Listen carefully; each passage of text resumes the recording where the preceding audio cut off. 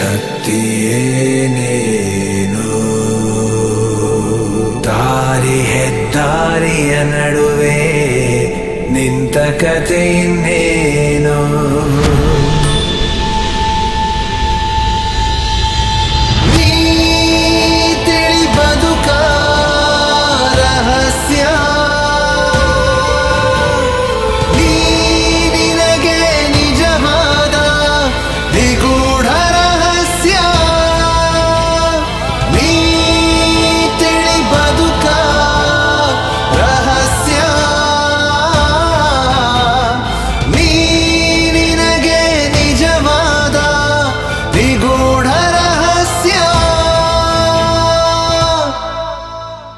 ರೋಚಕ ಕಥೆಗಳ ಅನಾವರಣವೇ ಈ ನಿಗೂಢ ರಹಸ್ಯ.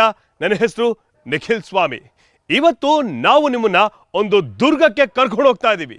ಇಲ್ಲಿ ರಾಜರಷ್ಟೇ ಅಲ್ಲ, ರಾಣಿಯರು ಕೂಡ ಆಡಳಿತವನ್ನ ಮಾಡಿದ್ದಾರೆ.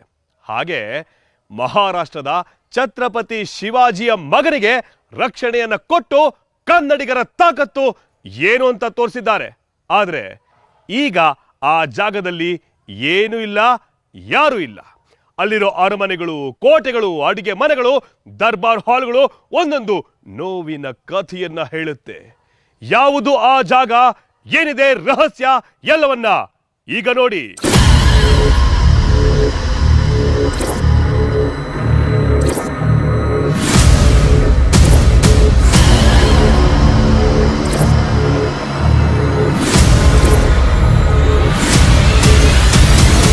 ಪಶ್ಚಿಮ ಘಟ್ಟಗಳ ಸುಂದರ ಪರಿಸರ ಯಾವ ಕಡೆ ಕಣ್ಣಾಡಿಸಿದರೂ ಪ್ರಕೃತಿಯ ರಮಣೀಯ ದೃಶ್ಯಗಳು. ಹಚ್ಚ ಹಸಿರನ್ನೇ ಮೈತುಂಬಿ ನಿಂತಿರುವ ಕಾಡುಗಳು ಇವೆಲ್ಲ ಮನಸ್ಸಿಗೆ ಆಹ್ಲಾದವನ್ನು ನೀಡುತ್ತಾ ಕಣ್ಣಿಗೆ ತಂಪೆರೆಯುತ್ತಿದ್ದರೆ ಇದರ ನಡುವೆ ತನ್ನ ಗತಕಾಲದ ವೈಭವವನ್ನು ಮೆಲುಕು ಹಾಕುತ್ತಾ ಇಂದಿನ ಸ್ಥಿತಿಯನ್ನ ನೆನೆಯುತ್ತಾ ನಮಗೆ ಜೀವವಿದ್ದರೆ ಎಲ್ಲರಿಗೂ ತಮ್ಮ ಇತಿಹಾಸದ ಗತ ವೈಭವವನ್ನ ಸಾರಿ ಸಾರಿ ಹೇಳಬಹುದಿತ್ತು. ಎನ್ನುವ ಹಾಗೆ ನಿಂತಿವೆ ಕೋಟೆಯ ಗೋಡೆಗಳು. ನೀವಷ್ಟೇ ಅಲ್ಲ, ನಾನು ಇದ್ದೆ ಎಂದೇಳುವ ಪಾಳು ಬಿದ್ದ ಅರಮನೆಯ ಅವಶೇಷಗಳು.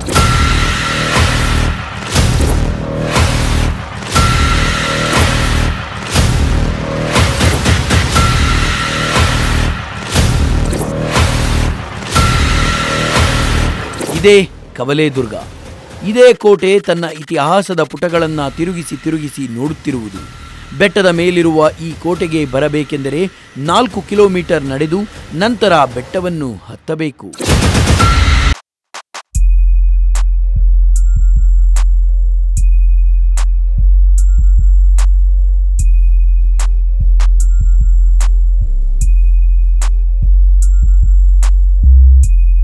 ಬಿಸಿಲಲ್ಲಿ ಬಂದರೆ ಬೆವರನ್ನು ಇಳಿಸುತ್ತೆ. ತಣ್ಣನೆಯ ತಂಗಾಳಿಯಲ್ಲಿ ಹತ್ತಿದರೆ ಮನಸ್ಸಿಗೆ ಮುದವನ್ನು ನೀಡುತ್ತೆ. ಐದು ಕೋಟೆಗಳನ್ನು ಒಳಗೊಂಡಿರುವ ಕೋಟೆ ಇದು. ಬೆಟ್ಟದ ಮೇಲೆ ನಿಂತು ನೋಡಿದರೆ ಸುಂದರ ಪ್ರಕೃತಿಯ ಜೊತೆಗೆ ಇಲ್ಲಿನ ವಿಹಂಗಮ ನೋಟವನ್ನು ನೋಡಿ ಮನಸ್ಸು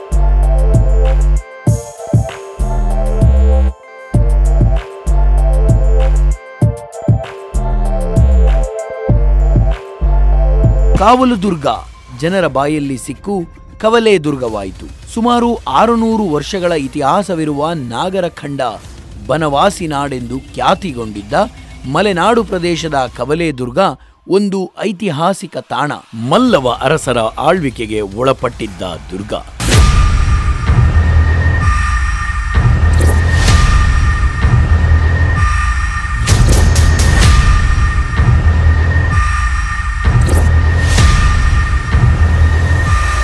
ಭುವನಗಿರಿ ಕಾವಲು ದುರ್ಗ ಸಂಸ್ಥಾನವಾಗಿ ಮಾರ್ಪಟ್ಟ ಹಿನ್ನೆಲೆಯ ಹಿಂದೆ ಯುದ್ಧ ನಡೆದಿದೆ.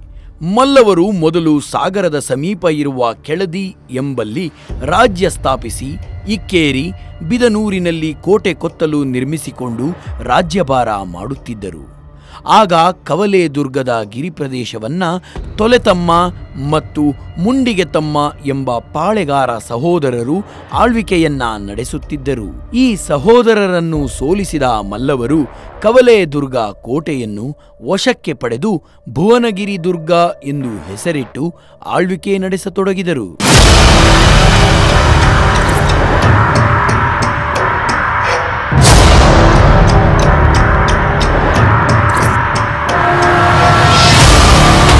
ಮಲ್ಲವ ವಂಶದಲ್ಲಿ ಪ್ರಖ್ಯಾತರಾದವರೆಂದರೆ ಶಿವಪ್ಪ ನಾಯಕ, ರಾಣಿ ಚೆನ್ನಮ್ಮಾಜಿ ಮತ್ತು ರಾಣಿ ವೀರಮ್ಮಾಜಿ. ಇದೇ ಜಾಗದಲ್ಲಿ ರಾಣಿ ಚೆನ್ನಮ್ಮನಿಗೆ ರಾಜ್ಯಾಭಿಷೇಕವಾಗಿ ಕೆಳದಿ ಅರಸು ಸುಮಾರು ಅರವತ್ತು ವರ್ಷಗಳ ಕಾಲ ಇಲ್ಲಿ ಆಳ್ವಿಕೆಯನ್ನ ನಡೆಸಿದರಂತೆ.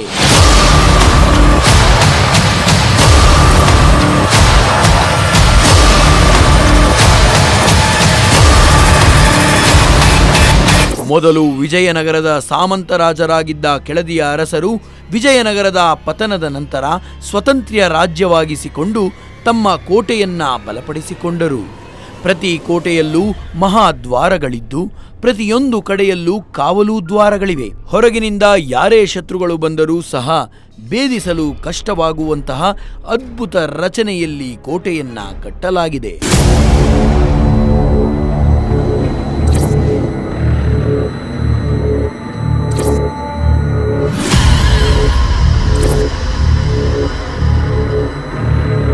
ಈ ಅದ್ಭುತ ಮತ್ತು ಸುಭದ್ರ ಕೋಟೆಯನ್ನ ಒಂಬತ್ತನೇ ಶತಮಾನದಲ್ಲಿ ನಿರ್ಮಿಸಲಾಯಿತು. ನಂತರ ಹದಿನಾಲ್ಕನೇ ಶತಮಾನದಲ್ಲಿ ಬೆಳಗುತ್ತಿ ರಾಜ ಚಲುವರಂಗಪ್ಪನಿಂದ ನವೀಕರಿಸಲಾಯಿತು.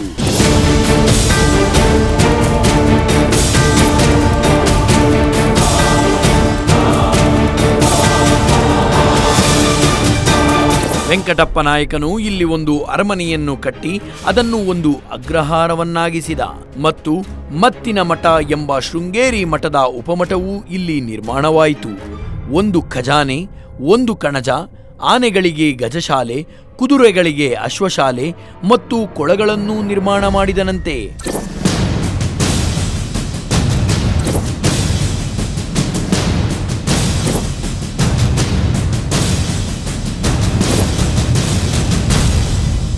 ಇಲ್ಲಿ ಹಿಂದಿನ ಸಮಯದಲ್ಲೇ ಮಳೆ ನೀರು ಕೊಯ್ಲು ಆಧಾರಿತ ತಾಂತ್ರಿಕ ಕೌಶಲ್ಯಗಳನ್ನು ಬಳಸಿದ್ದರು.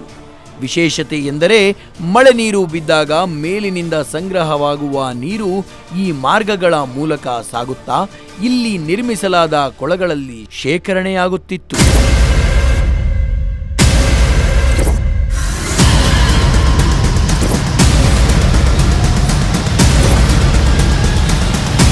ಅದರಲ್ಲಿ ಸದಾ ನೀರಿರುವುದು ವಿಶೇಷ.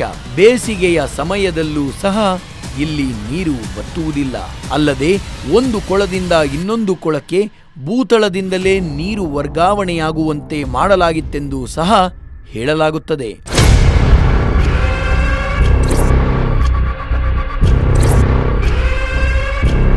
ಇನ್ನು ರಾಣಿ ಚೆನ್ನಮ್ಮನ ವಿಷಯಕ್ಕೆ ಬಂದರೆ ಇಲ್ಲಿ ಛತ್ರಪತಿ ಶಿವಾಜಿಯ ಮಗನಿಗೆ ಈ ಕೋಟೆಯಲ್ಲಿ ರಕ್ಷಣೆಯನ್ನ ಕೊಟ್ಟಿದ್ದಳಂತೆ. ಚೆನ್ನಮ್ಮನಿಗೆ ಪ್ರತಿದಿನ ಅರಮನೆಯಿಂದ ಹೊರಗೆ ಬಂದು ಭಿಕ್ಷೆಯನ್ನ ಕೊಡುವ ಪದ್ಧತಿ ಇತ್ತಂತೆ. ಅದೇ ಪ್ರಕಾರ ಅಂದು ಹೊರಗೆ ಬಂದು ನೋಡಿದರೆ ನಾಲ್ಕು ಜನ ಸನ್ಯಾಸಿಗಳು ನಿಂತಿದ್ದರಂತೆ. ನೋಡಲು ಆಕರ್ಷಕವಾಗಿ ಕಂಗೊಳಿಸುತ್ತಿದ್ದರಂತೆ. ಮೊದಲೇ ಚತುರಳಾದ ಚೆನ್ನಮ್ಮ ಇವರು ಸನ್ಯಾಸಿಗಳಲ್ಲ ಇವರು ಯಾರೋ ಬೇರೆಯವರು ಎಂದು ವಿಚಾರಿಸಿದಾಗ ತಿಳಿದಿದ್ದು, ಛತ್ರಪತಿ ಶಿವಾಜಿ ಮಹಾರಾಜರ ಮಗ ರಾಜಾರಾಮನೆಂದು.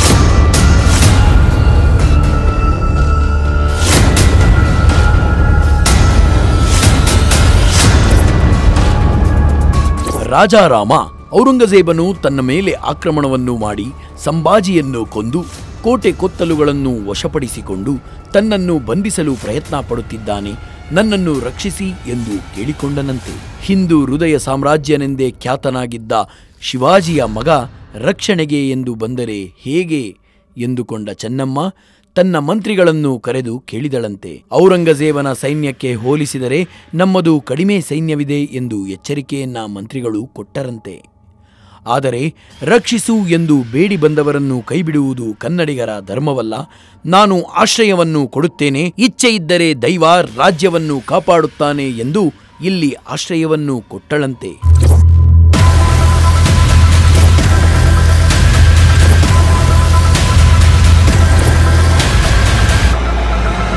ಇದು ಔರಂಗಜೇಬನಿಗೆ ಗೊತ್ತಾಗಿ ಒಂದು ಕಡೆ ಸೈನ್ಯವನ್ನು ಕಳುಹಿಸಿ ಇನ್ನೊಂದು ಕಡೆ ಉಡುಗೊರೆಯನ್ನು ಸಹ ಕಳುಹಿಸಿದನಂತೆ. ಇದು ಚೆನ್ನಮ್ಮಳಿಗೆ ಗೊತ್ತಾಗಿ ಕೆರಿಲ್ಲಾ ಮಾದರಿಯಲ್ಲಿ ಯುದ್ಧ ಶುರುವಾಗಿತ್ತು. ಔರಂಗಜೇಬನ ಸೈನ್ಯದ ನಾಯಕನಾಗಿ ಬಂದಿದ್ದವನು ಮಗ ಅಜ್ಮದ್. ಇದೆಲ್ಲ ನಡೆಯುವ ಹೊತ್ತಿಗೆ ಚೆನ್ನಮ್ಮ ರಾಜಾರಾಮನನ್ನು ಸುರಕ್ಷಿತ ಸ್ಥಳಕ್ಕೆ ಕಳುಹಿಸಿ ಹಾಗಿತ್ತು.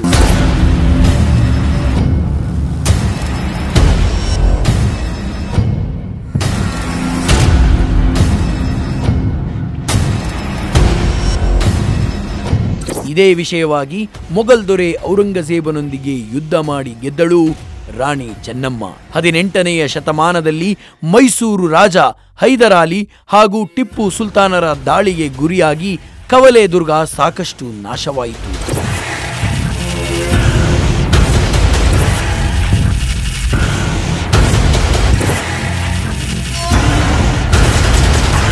ನಮ್ಮ ಕನ್ನಡಿಗರು ಆಳಿದಂತಹ ದುರ್ಗವನ್ನ ನೋಡ್ತಿದ್ರಿ, ಕಥೆಗಳನ್ನ ಕೇಳ್ತಿದ್ರಿ. ಯಾಕಂದ್ರೆ ಆ ಕಥೆಗಳನ್ನ ಕೇಳ್ತಾ ಇದ್ರೆ ಪ್ರತಿಯೊಬ್ರು ಕೂಡ ನೋವಾಗುತ್ತೆ. ಯಾಕಂದ್ರೆ ಅಲ್ಲಿ ರಾಜರಿಲ್ಲ.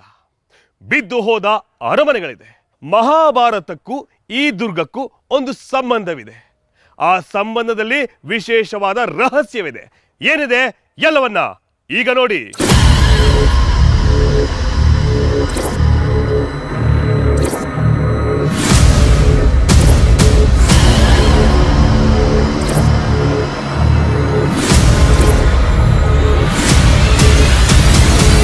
ಕೋಟೆಗೆ ಸಂಬಂಧಿಸಿದಂತೆ ಸಾಕಷ್ಟು ಕುತೂಹಲಕಾರಿ ಹಿನ್ನೆಲೆಗಳು ಸ್ಥಳೀಯವಾಗಿ ಚಾಲ್ತಿಯಲ್ಲಿವೆ. ಹಿಂದೂ ಪೌರಾಣಿಕ ಕಥೆಗಳ ಪ್ರಕಾರ ಇದನ್ನು ಭುವನಗಿರಿ ಎಂಬ ಹೆಸರಿನಿಂದಲೂ ಸಹ ಕರೆಯಲಾಗುತ್ತದೆ.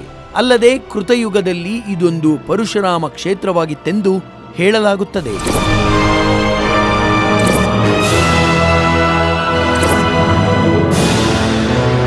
ತ್ರೇತಾಯುಗದಲ್ಲಿ ಅಗಸ್ತ್ಯ ಹಾಗೂ ವಾಲ್ಮೀಕಿ ಋಷಿಗಳು ಈ ಭುವನಗಿರಿಗೆ ಭೇಟಿ ನೀಡಿ ಕೆಲ ಕಾಲ ತಪಸ್ಸು ಮಾಡಲು ತಂಗಿದ್ದರೆಂದು ತಳಪುರಾಣದ ಮೂಲಕ ತಿಳಿದುಬರುತ್ತದೆ.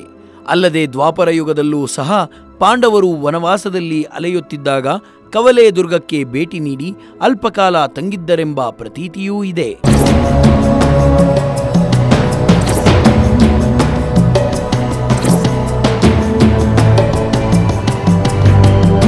ಒಂದು ಗುಹೆಯಾಕಾರದ ರಚನೆಯಲ್ಲಿ ನೀರಿನ ಮೂಲವೊಂದನ್ನು ಕಾಣಬಹುದಾಗಿದ್ದು ಅದನ್ನು ಗದಾತೀರ್ಥ ಎಂದು ಕರೆಯುತ್ತಾರೆ. ಪ್ರತೀತಿಯಂತೆ ಭೀಮನು ತನ್ನ ಗದೆಯಿಂದ ಈ ಹೊಂಡವನ್ನು ತೋಡಿದ್ದನಂತೆ.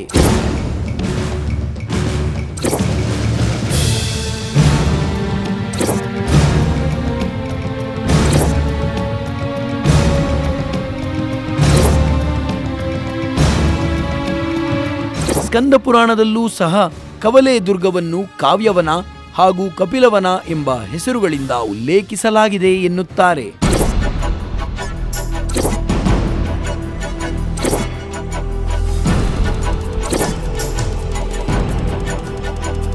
ಈ ಕೋಟೆಯ ಆವರಣದಲ್ಲಿ ಒಟ್ಟಾರೆಯಾಗಿ ಹದಿನೈದು ದೇವಾಲಯಗಳಿದ್ದವು. ಆದರೆ ಅವುಗಳಲ್ಲಿ ಇಂದು ಕಾಣಬಹುದಾದ ದೇವಾಲಯಗಳು ಕೇವಲ ಮೂರೇ ಮೂರು ಮಾತ್ರ.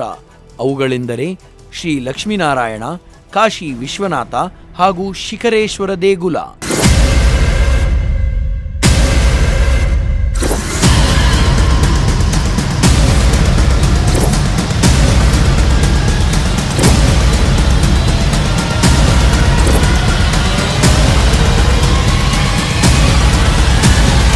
ಅಲ್ಲದೆ ಉತ್ಖನನದಿಂದ ಹೊರತೆಗೆಯಲಾದ ಇನ್ನೂ ಅನೇಕ ರಚನೆಗಳಾದ ಆನೆ ಕುದುರೆ ಇರುವ ಕೊಟ್ಟಿಗೆ ಕೋಣೆಗಳು, ಶಸ್ತ್ರಾಗಾರಗಳು ಈಜುಕೊಳಗಳು ಹಾಗೂ ಗಳಿಗೆ ಬಟ್ಟಲುಗಳನ್ನು ಕಾಣಬಹುದು.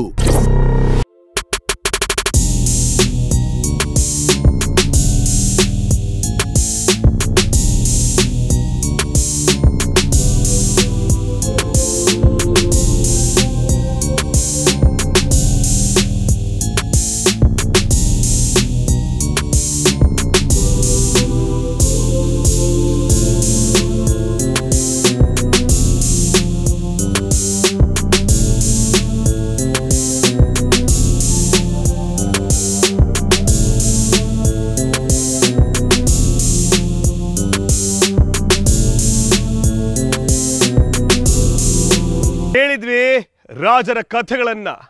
ಆದರೆ ಈ ದುರ್ಗದ ಈಗಿನ ಕಥೆಯನ್ನ ನೋಡಿದ್ರೆ ಗೊತ್ತಾಗುತ್ತೆ, ಆಗ ರಾಜರ ಒಂದು ದರ್ಬಾರ್ ಹೇಗಿತ್ತು ಅಂತ. ಇನ್ಯಾತಡ ತಡ ಆ ರಾಜ ವೈಭೋಗವನ್ನ ನೋಡೋಣ. ಈಗ.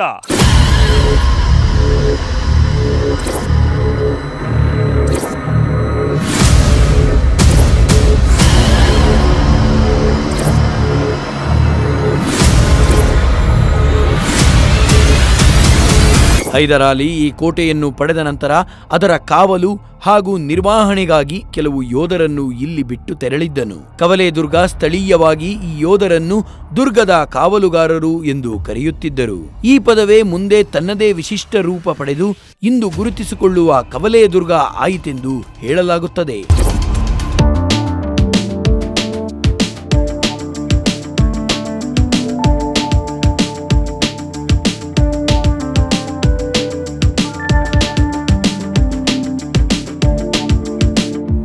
ದೇವಾಲಯದಲ್ಲಿ ವಿಶಿಷ್ಟವಾದ ಕೆಳದಿಯ ಕಲಾವಿನ್ಯಾಸವನ್ನ ಕಾಣಬಹುದಾಗಿದೆ. ದೇವಾಲಯದ ಗೋಡೆಗಳ ಮೇಲೆ ಸೂರ್ಯಚಂದ್ರ, ಕುದುರೆ ಸೈನಿಕರು, ಹೀಗೆ ಹಲವಾರು ಅದ್ಭುತ ಕೆತ್ತನೆಗಳನ್ನು ಕಾಣಬಹುದು. ಇಲ್ಲಿಯ ವೈಭವ ಅಂದು ಹೇಗಿತ್ತು ಎನ್ನುವುದು ನಮ್ಮ ಮನಸ್ಸಿನಲ್ಲಿ ಕಲ್ಪನೆಗೆ ಬಂದದ್ದು ಹೀಗೆ.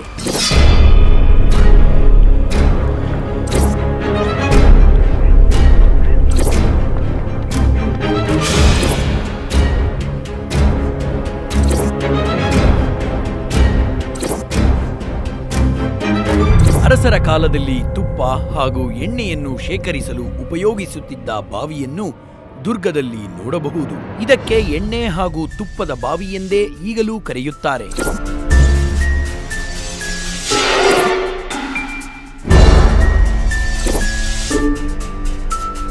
ಶಿಸ್ತಿನ ಶಿವಪ್ಪ ನಾಯಕನ ಕಾಲದ ಏತ ನೀರಾವರಿ ಪದ್ಧತಿ ಬಳಕೆಯ ಕುರುಹುಗಳು ಕವಲೆ ದುರ್ಗದಲ್ಲಿ ಈಗಲೂ ಕಾಣಬಹುದು.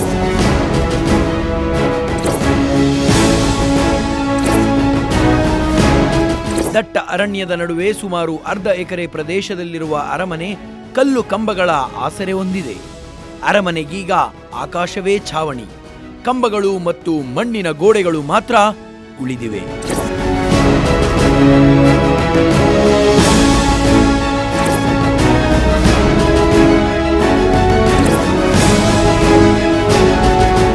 ಅದ್ಭುತವಾದ ಸ್ಥಳ ಇರುವುದಾದರೂ ಎಲ್ಲಿ ಎಂದರೆ ಶಿವಮೊಗ್ಗ ಜಿಲ್ಲೆಯ ತೀರ್ಥಹಳ್ಳಿ ತಾಲೂಕಿನಿಂದ ಸುಮಾರು ಹದಿನೆಂಟು ಕಿಲೋಮೀಟರ್ಗಳಷ್ಟು ದೂರದಲ್ಲಿದೆ ಈ ಕವಲೇದುರ್ಗ. ನೀವು ಇತಿಹಾಸಕಾರರಾಗಿಯೂ ಹೋಗಬಹುದು ಅಥವಾ ಚಾರಣಿಗರಾಗಾದರೂ ಹೋಗಬಹುದು. ಒಮ್ಮೆ ಹೋಗಿ ಇಲ್ಲಿಯ ಪ್ರಕೃತಿ ಸೊಬಗಿನಲ್ಲಿ ಕವಲೇದುರ್ಗದ ಸೊಬಗನ್ನು ಕಣ್ಣು ತುಂಬಿಸಿಕೊಳ್ಳಿ.